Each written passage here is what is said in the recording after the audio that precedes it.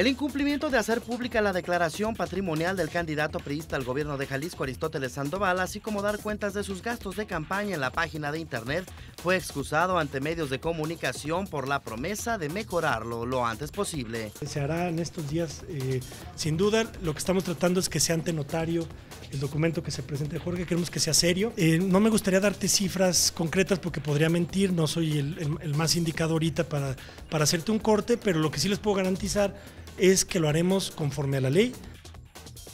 Tampoco se informó de la cantidad de espectaculares que se tienen en el estado, aunque trascendió que el presupuesto asignado es de más de 22 millones de pesos.